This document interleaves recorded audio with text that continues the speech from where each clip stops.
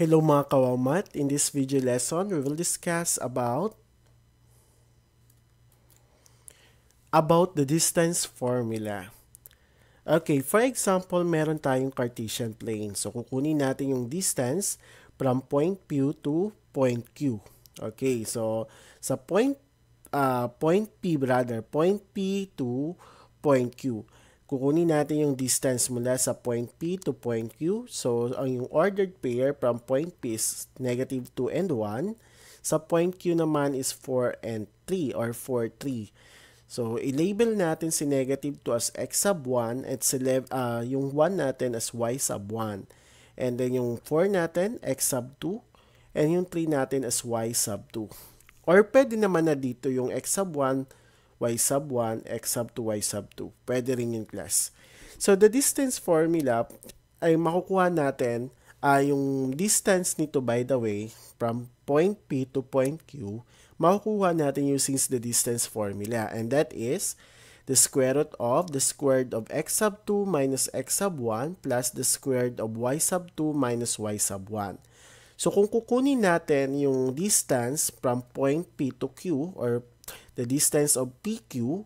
So, ang gagawin natin, so, importante na marunong tayo, uh, alam nyo dapat yung i-assign nyo, yung value, yung pag-a-assign, dapat, uh, ano yun, no? Importante yon So, kung for example, nilabel mo yun na x sub 1, dapat ito, yung kasama niya ay yung y sub 1. Hindi pwede na ito yung x sub 1 mo, tapos i-label mo to ng x sub 2. So, mali yon So, ano to ha, sa Cartesian plane natin, di ba? Kung saan nakatapat yung point natin, so una lagi tumitingin tayo sa x-axis bago sa y. Okay, so again, kung ito yung i-label nyo na x sub 1, so dapat yung katabi niya is y sub 1. Kung ito naman yung x sub 2, dapat ay yung katabi niya is yung y sub 2. Okay, so first, kunin muna natin yung value ng x sub 1 that is negative 2. Yung y sub 1 natin is 1, yung x sub 2 natin is 4, yung y sub 2 natin is 3. So, using the formula, substitute lang natin. Okay, palitan natin ng x sub 2 ng 4 minus, okay, yung x sub 1 natin is negative 2. Since negative 2 to, lalagyan natin ng open close parenthesis. Okay? And then, squared plus, dito naman, palitan natin yung y sub 2 ng 3 minus uh, the value of y sub 1 that is 1. So, 4 minus negative 2, that is 4 plus 2. Tama? Kasi negative times negative, maging positive na. And that will become 6. So, 6 squared, and then 3 minus 1, that is 2.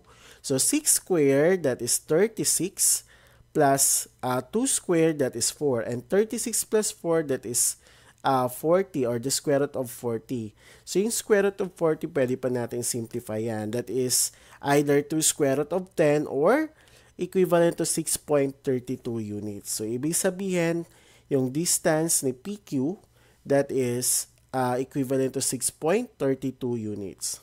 Another example, determine the distance between point A, that is 1, 6, and point B, 5, and negative 2. So, kung titingnan natin yan, so yung point A natin is nasa quadrant 1, yung point B natin ay nasa quadrant, saang quadrant to? Quadrant 4. Okay.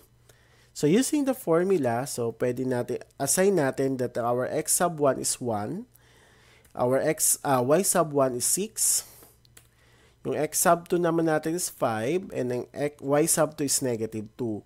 So by uh, applying the formula, the distance formula class, substitute lang natin. Yung x sub 2 is 5 minus 1 plus negative 2 minus 6 squared. Okay, 5 minus 1, that is 4. And negative 2 minus 6, that is negative 8. 4 squared is 16. And negative 8 times negative 8, that is 64. So, square root of 16 plus 64, that is square root of 80. Or, uh, the distance of AB is e equal to 4 square root of 5 or equivalent to 8.94 units. So, ganyan lang gamitin yung distance formula. Okay, now, bibigyan ko kayo ng 10 questions, okay, to test yourself. So, pwede nyong stop yung video muna, okay, play nyo na lang ulit kapag gusto nyo na makita yung sagot. So here are the 10 questions. Okay, I hope makakuha kayo ng perfect score. So pwedeng yung uh, stop muna yung video na to and then kapag nasagutan nyo na yung 10 questions, sa nyo i-play para makita nyo or ma-check nyo kung tama yung sagot nyo. Using the, using the distance formula.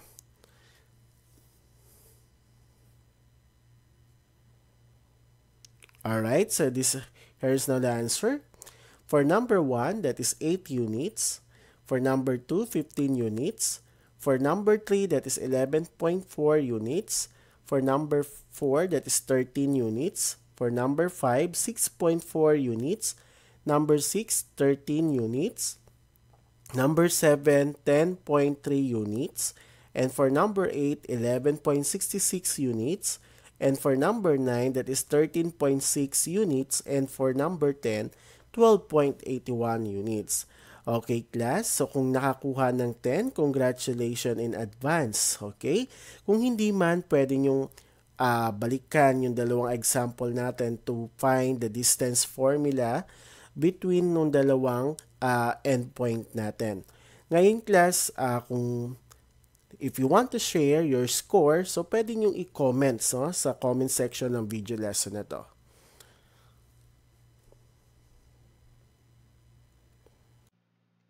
Thank you for watching this video. I hope you learned something.